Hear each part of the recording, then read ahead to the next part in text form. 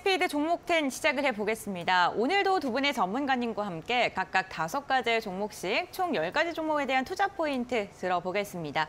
90초라는 한정된 시간 동안 종목에 대한 이야기 릴레이로 소개를 해드릴 예정인데요. 종목 보시면서 궁금한 게 생긴 시청자분들께서는 샵 3772번으로 문자 문의 주시거나 유튜브 실시간 채팅창에 댓글 남겨주시길 바랍니다. 저희가 생방송 중에 실시간으로 가격 전략까지 디테일하게 잡아드리겠습니다. 오늘 함께 하시는 두 분의 전문가와 인사 나눠보겠습니다. 실전투자연구원 정우영 원장, 다올투자증권 이성홍 차장 함께합니다. 안녕하세요. 안녕하십니까? 안녕하십니까? 네, 오늘도 두 분께서 10가지 종목 준비하셨는데 그 종목부터 확인하고 오겠습니다. 정우영 원장의 오늘의 종목입니다. 디알젬을 시작으로 레이, 이루다, 하이로닉, 제이시스메디칼 이렇게 다섯 가지고요. 이성홍 차장의 오늘의 종목은 삼성카드를 시작으로 현대 그린푸드, 금양, LG 생활건강, 면신산업 이렇게 총 10가지가 준비되어 있습니다. 여러분들이 이 종목들 중에 어떠한 종목에 관심이 가실까요?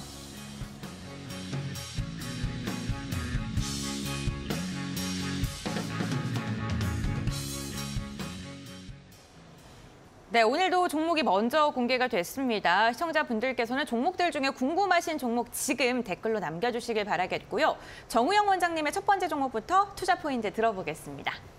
네.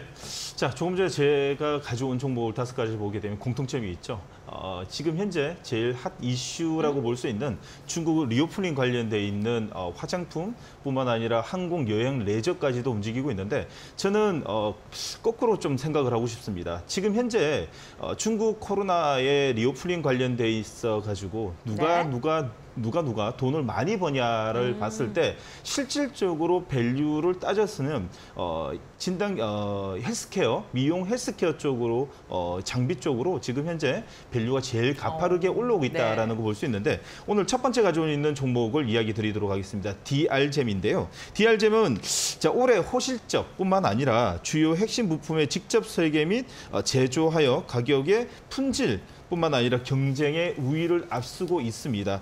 뿐만 아니라 이 일반적인 제조 대비 영업이익률이 지금 현재 자 고속 성장이라고 말 수 있는 두 자리 숫자뿐만 아니라 20자까지 볼 수 있는 20% 이상의 현재 영업이익률을 보고 있는데 자 일단 자 자, 네. 자 어, 차트를 보면서 이야기 아, 네, 드리도록 알겠습니다. 하겠습니다. 네. 자, 보시게 되면요.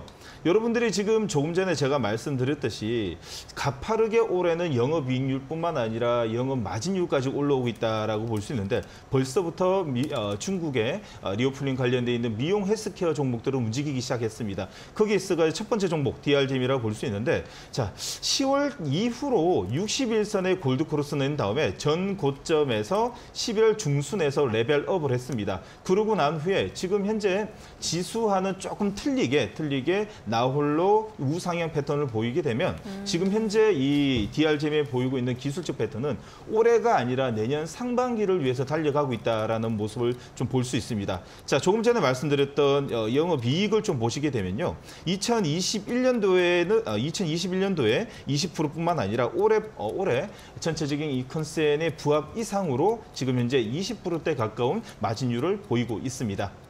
네, 알겠습니다. DR잼 미용 의료기기 사실 4분기가 성수기죠. 거기에 관련 투자 포인트 한번 짚어보시면 좋을 것 같고요. 다음으로는 이성우 차장님의 첫 번째 종목 한번 들어보겠습니다. 어, 삼성카드를 들고 오셨는데 카드사 최근 괜찮나요? 아유, 네. 괜찮지 않습니다. 그쵸, 네, 네. 영업 환경이 어, 굉장히 좀 어려운 네. 상황이다라고 좀 생각이 되고 있고. 어 근데 이제 음. 지금 이제 올해보다도 또 이제 내년에 대한 어떤 음. 전망치가 지금 긍정적으로 나와지고 있기 어, 때문에 네. 어, 우선 뭐 전망치에 대한 부분에 있어서 그게 정확한지 아닌지는 한번 살펴봐야 되겠지만 음. 뭐 이거에 대한 그 말씀하셨듯이 영업 환경이 좋지 않기 때문에 이런 부분 주- 충분히 주가에 좀 반영이 되지 않았나라고 좀 생각이 되고 있고요. 지금 현재 본다고 하더라도 내년에 어떤 신용카드나 이런 사용 금액 같은 경우는 올해 대비해서는 소폭이나마 한4% 정도 지금 성장세가 예상이 된다고 지금 되고 있는데 음, 우선은 근데 지금 이런 부분이 음, 여러 가지 그전에 우려됐던 사항이 그나마 좀 나아지고 있는 게 좀 있거든요. 네. 보면은 우선 가맹점에 대한 수수료율이 지금 인하되는 상황도 있고 그리고 이 카드론 치고 금액도 감소하고 그리고 음. 애플페이가 얘기 나와주면서 삼성카드의 그 삼성카드뿐만 아니라 카드사의 주가가 많이 좀 조정받았거든요. 네.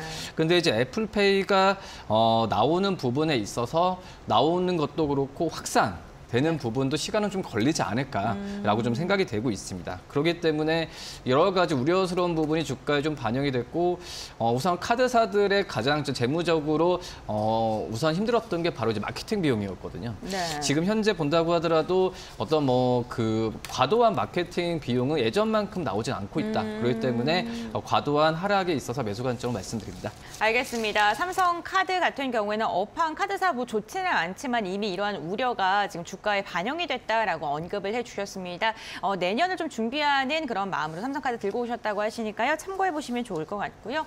다음으로는 정우영 원장님의 두 번째 종목 레이 임플란트 관련 좀 한번 체크해 보겠습니다. 자, 레이입니다. 영화 제목 같죠? 레이입니다. 자, 자동차. 올해 네. 예, 예, 자동차입니다. 네. 예, 자 올해 어, 사상 최대 매출이고요. 물론 그리고 중국 치과 의료 기기 유통회사 인수로 어, 성장 교두보를 마련했습니다. 지금 어, 헬스케어 관련돼 있는 종목들 중에서요, 어, 우리나라뿐만 아니라 중국에 진출해서 지금 현재 어, 여러분들 매출에 기여하는 회사를 집중적으로 보셔야 되거든요. 어, 조금 전에 서두에 말씀드렸듯이 지금 reopening 관련돼 있어가지고 어, 어느 정도의 이 전체적인 포지션이 만들어지게 되면 추가적인 이 화장품뿐만 아니라 여행, 레저 그 다음으로 제일 큰 어, 사이즈가 나올 수 있는 곳이 사실 이제 healthcare라고 볼 수 있습니다. 거기 있어가지고 레이 같은 경우에 어, 지금 치과 의료 기기라고 볼 수 있는 자 의료기기 유통회사를 인수로 인수로 인해 가지고 교부를 마련했습니다. 자 기술적 패턴 보시면서 제가 설명해드리도록 하겠습니다. 자. 자 일단 여러분들이 보셔야 되는 셀링 포인트는요. 자 오늘 어, 전고점에 살짝 먹고 있는 기관과 외국인의 수급으로 인해 가지고 지금 정배열 초입의 상승 패턴으로 어, 일단 물, 어, 패턴을 잡았습니다.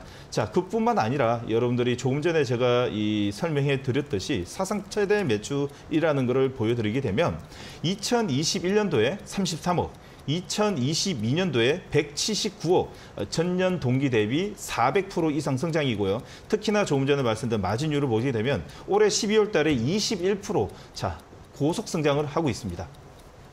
네, 알겠습니다. 레이 어, 투자 포인트 들어봤습니다. 지금 성장률이 임플란트 관련주 중에 굉장히 고수 성장을 하고 있다라고 투자 포인트 언급을 해주셨습니다. 다음으로는 이성우 차장님의 두 번째 종목 현대 그린푸드 한번 들어볼 텐데요. 현대 그린푸드 이 시간을 통해서 지난번에도 한번 들었었거든요. 어떤 전문가님께서 좀 최근에 이 종목에 대한 이야기가 나오고 있는 것 같아요. 다시.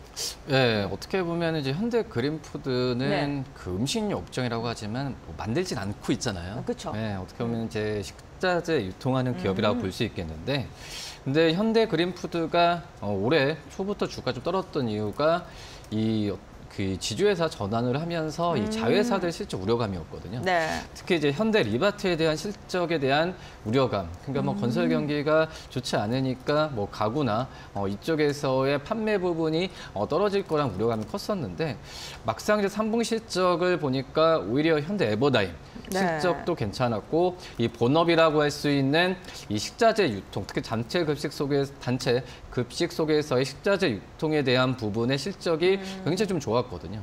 그러면서 3분기 전체 영업이익은 작년 대비해서 101% 증가한 283억을 기록했는데 그렇기 때문에 이 과도한 우려에 의한 어떤 이제 그 투자 환기가 될 만한 시점인데 주가는 생각보다 반등 부분이 좀 미미하게 나타나주고 있거든요. 어, 네. 그렇기 때문에 저는 현대그린푸드의 이 식자재 유통에 대한 부분에 있어서 물론 단체 급식은 이제 대기업 위주로 좀 하고 있는데 지금 현재 부분에 있어서는 이 글로벌적으로도 이란과 수주에 대한 부분도 있고 여러 가지 현대그린푸드가 실적에 대한 이런 성장세는 계속 이어질 가능성이 크다라고 판단되고 있습니다. 뭐 그러기 때문에 그 전에 과도한 우려에 떨어졌던 앞서서 말씀드렸던 삼성카드처럼 저가 매수 관점으로 들어가도 괜찮지 않을까 이렇게 보입니다. 네, 알겠습니다. 현대 그린푸드 실적 개선세 대비 주가가 좀 지지부진하다라고 이야기해 주셨습니다. 어, 어, 다음으로는 정우영 원장님의 종목입니다. 이루다 어, 저희가 아까 어, 의료 미용기기에 대한 이야기하면서 4분기가 성수기다라고 이야기했는데 역시나 마찬가지일까요? 네, 맞습니다. 네. 자, 이 피부 미용 기기 같은 경우는요. 네. 어, 4분기가 성수기 맞죠. 왜 음. 추우니까요. 네. 일단 가서 어, 피부 미용을 받는 게 건조해지고 어, 예, 하니까, 맞습니다. 네. 환경이 만들어지기 때문에 네. 많이 찾게 됩니다. 음. 자, 4분기 성수기 진입했고요. 4분기 최대 매출은 당연히 내년 상반기에 나오게 됩니다. 자, 그렇기 때문에 선침의 자리라고 볼 수 있고 자, 그리고 신제품 출시에 따른 매출 성장 그리고 실적 레벨업의 구간에 어, 취해졌다라고 보시면 됩니다. 피부 미용에 있어 가지고 지금 고속 성장을 하고 있는 이루다 여러분들에게 기술적 패턴으로 다시 한 번 더 설명해 드리도록 하겠습니다. 차트 보도록 할게요. 자, 차트를 보시게 되면요. 여러분들 어떻게 보면 이동 평균선을 보게 되면 깔끔하게 야, 20일선을 안고 어, 수렴하는 구간을 통해 가지고 자, 이동 평균 끌고 오다가 확장형 candle이 나오는 gold cross 이후에 전고점에서 지금 현재 수렴하는 자리에서 매물 소화를 하고 있습니다. 저번 주에 거래량이 한번 두 반이 어, 상 어, 거래량을 실어주면서 전고점에서 손바뀜 한번 났고요. 그리고 오늘 단봉의 음봉, 음봉 공략에 있어 가지고 외국인의 매도가 나올 것 같지만은 저번 주보다도 덜 나오는데도 단봉의 어, 밑에 꼬리가 달린다는 것은 사실상 소화는 거의 다 끝났고 오늘 기술적으로는 음봉 공략이 가능하고 자 음봉 공략이 싫으시면 내일 한 번 더 5일선 패턴에서 잡으시면 될 것 같습니다. 자 영업이익을 보시게 되면요, 영업이익은 자 고속 성장이라는 걸 눈에 보이듯 작년에 40억, 올해 90억입니다. 네, 알겠습니다. 이루다에 대해서 이야기 들어봤고요. 다음으로는 이성홍 차장님의 종목입니다. 금양인데요. 금양 같은 경우는 최근 2차 전지의 횡보가 굉장히 공격적이에요. 음, 네. 금양 같은 경우에는 이제 한 두 번의 rerating이 있었죠. 네. 아시겠지만 은 올해 그 8월 전에는 5천 원 이하였던 음. 종목인데 지금 현재 본다고 하더라도 거의 뭐 500% 네. 이상 저 주가가 559% 올랐다고 나와 있네요. 네, 559% 나와 네. 있는데 네. 지금 원래 8월 달에 이제 원통형 전지를 이제 개발하면서 주가가 한번 rerating 됐었고 어, 네. 그리고 이제 이제 콩고 쪽에서의 리튬 광산에 대한 지분 인수 얘기가 좀 나와주면서 10월 달에 다시 한번 rerating 네. 됐었거든요. 어, 그러면서 지금 금양 같은 경우가 이 11월 달에 약간 조정을 받고 있는데 지금 본다고 하더라도 뭐 2차 전지 쪽에서의 실적 부분이 아직 가시화된 건 아니에요. 네. 하지만 제가 본다고 하더라도 이런 그 물론 이제 내년에 실적으로 크게 성장할 거란 기대감이 주가에 미리 음. 선반영됐다고 판단되고 있는데 지금 이제 금양 같은 경우가 어 그 이런 준비하는 과정이 어 말씀드렸다시피 이 잘 반영이 되면서 내년 실적 가시화의 가능성이 굉장히 높아지고 있거든요. 네. 그렇기 때문에 저는 3차 릴레이팅에 대한 가능성이 굉장히 좀 높다라고 좀 생각이 되고 있고 지금 현재 지난주에 또 공시했듯이 어떤 부산 쪽에서의 토지 매입을 하면서 2차 전지에 대한 박차를 지금 가하고 있는 상황이기 때문에 이 금양에 대한 음, 2차 전지 쪽에서의 실적에 대한 기대감은 이제 한층 더 가까워졌다라고 좀 생각이 되고 있고 뭐 우리나라 어떤 발포제 쪽에 글로벌 1위 기업인데 본업도 안정화되고 있기 때문에 안정적으로 가지 않을까 이렇게 판단됩니다. 네, 알겠습니다. 하이 어, 금양 같은 경우에는 어, 우선 두 번의 주가의 상승이 있었는데 지금 2차 전지 시장을 좀 공격적으로 강화하면서 한 번에 더 아웃퍼폼이 일어날 수 있다라고 언급을 해주셨습니다. 참고해 보시길 바라겠고요. 어, 다음 네 번째 정우영 원장님의 종목 하이로닉 한번 들어볼 텐데 5거래일 연속 상승하고 있네요. 네, 맞습니다. 지금 오늘 어, 100일선까지 지금 네. 단봉의 양봉으로 지금 끌어올리고 있는데 이때 보면 어, 저점에 완전 어, 저점을 만들어졌고 오늘 100일선의 이 단봉의 양봉의 3%짜리는 자, 수렴형 캔들이 지금 만들어지고 확장형이 나오기 전 네, 모습인 것 같습니다. 네. 자, 거기 있어가지고 여러분들에게 오늘 하이로닉 같은 경우에 자, 여러분들 알려드릴 내용은 제 2공장 가동으로 성장이 본격화됐다라는 내용하고요. 그리고 산업자원통상부 자원부에서 주간으로 6년 이상의 세계 인류 제품을 만들고 있습니다. 울세라 아시죠? 네. 네, 홈세라의 제품을 만들고 있는 어, 지금 하이로넥입니다. 음. 자 그리고 자 여러분들에게 알려드려야 될 내용 중에 하나는 자 여러분들이 이제 영업 이익을 꼭 보셔야 되는데요. 자 차트 한번 보시면서 설명해드리도록 하겠습니다. 네. 자 차트 보시게 되면 조금 전에 말씀드렸듯이 자저 사람이 무슨 소리를 하냐라고 보게 되면 단봉의 양봉이 나온다는 뜻은 자 이동 평균선을 넘었을 때는요 확장형 candle이 나오기 전에는 수렴해야 됩니다. 그 수렴이라는 것은 이동 평균선 평균 가격에 어, 어느 정도의 이 매물 소화를 거쳐가지고 자 이동 평균선 마지막 자리 100일선에서 확장형 candle 나오기 전에 안착하는 게 중요하고요. 거기에 있어가지고 이렇게 지금 넘어서고 있는 이유가 뭐냐라고 보게 되면 자, 특히나 영업이익을 보시게 되는데 작년에 46억, 올해 1분기, 2분기, 3분기까지 합친 금액이 지금 4, 아, 40억 정도 됩니다. 그러면 4분기 남겨둔 상세 상태에서는 자 작년 대비 성장했다라고 네, 볼수 있습니다. 알겠습니다. 하이로니 한번 들어봤고요. 다음으로 이성 훈 차장님의 네 번째 종목 LG 생활 건강입니다. 오늘 정호영 원장님께서 어, 미용과 관련된 이야기를 해주시고 있는데 음. 유일하게 중국과 관련된 미용 네 화장품 업체네요. 네, 우선 지금 중국 쪽에서의 음. 음, 예상이 됐던 상황인 것 같아요. 오, 지금 그래요? 네. 전 세계적으로도 이 완화 정책, 코로나에 대한 어떤 거리두기 완화가 거의 대부분 되지 않았나. 그렇죠. 마스크 안 쓰고 다니는 데도 많잖아요. 네, 네. 지금 뭐 뉴스도 보니까 뭐 카타르 월드컵 보니까 네. 전 세계인들이 이제 안 쓰고 어떻게 보면은 맞아요. 그런 상황인데 또 중국 쪽에서도 이런 이 제로 코로나 정책에 대한 완화에 대한 부분이 음. 어 이제 가시화되는 현재 국면에서 중국 관련주들에 대한 관심, 특히 오늘 화장품주, 여행주들의 그 매수세가 네. 어, 유동성이 좀 많이 몰리고 있는데 그중에 이제 화장품 종 안에서도 LG 생활건강이 어떤 대장주로서도 저는 역할을 잘할 오. 거라고 좀 판단되고 있고요. 네. 어, 지금 현재 LG 생활건강뿐만 아니라 화장품주가 이제 그 오늘 주가 상승도 그렇지만은 이 중국 쪽에서의 음, 비중이 높지만 결국은 이게 숙제 같아요. 코로나 한번 한번 나와주면서 이제 중국 쪽, 그러니까 타일 중국화하면서 이제 다른 지역적으로의 매출 비중이 어, 넓혀야 된다라는 게 숙제인 거라고 판단되고 있고요.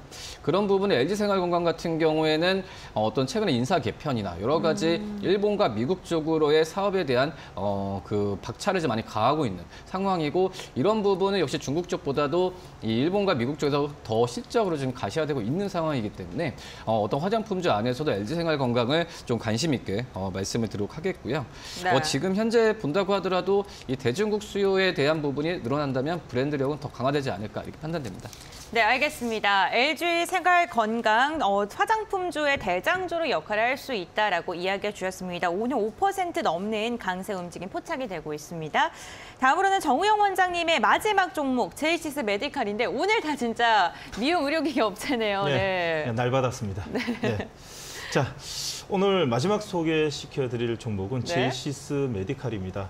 조금 전에 홈세라 이야기했죠. 자, 네. 제이시스 메디칼은 어, 또 이름이 틀립니다. 음, 자, 뭐죠? 울트라입니다. 어. 자, 어, 리프팅 관련 제품인데요. 중국에서 지금 대박이 나고 있고요. 특히나 어, 중국에서 대박이 나고 있는 제모 모공 축소 제품 이름은 셀렉 V 시스템이라 그래가지고 어, 정말 수출을 많이 하고 있는데 향후 이제 2년간 지금 현재 2년간 어, 2년간 이익 성장이 두 배로 뛰었고요.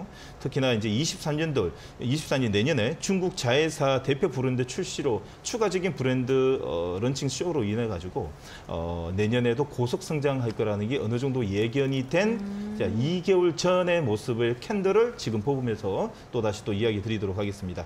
자, 기술적 패턴을 보면서 설명해 드리도록 하겠습니다.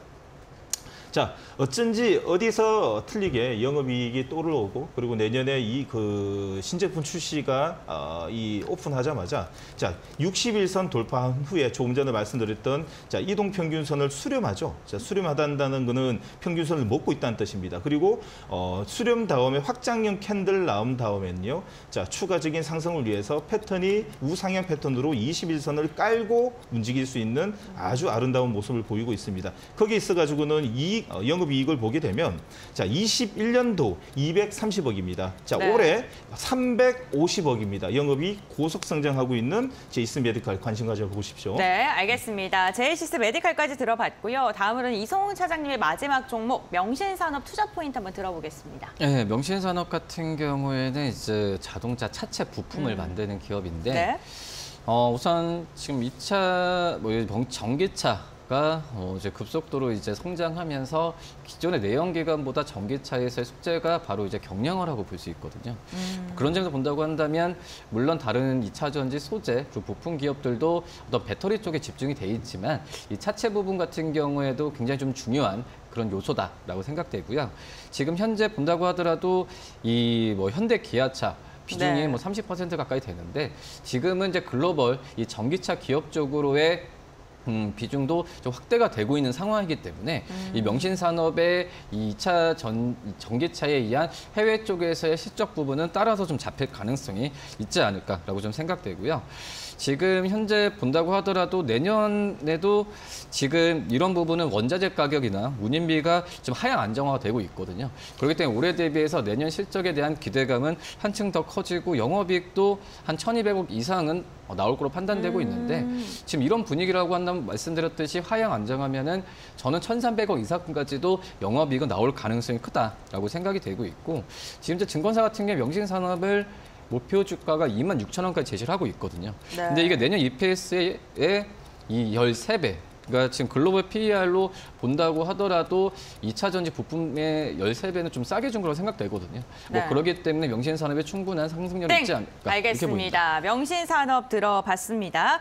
명신 산업 같은 경우는 사실 테슬라 관련주로도 크게 엮여 있는 종목이기도 하죠. 기가팩토리가 어떠한 영향을 미칠지도 참고를 해 보시면 좋을 것 같습니다.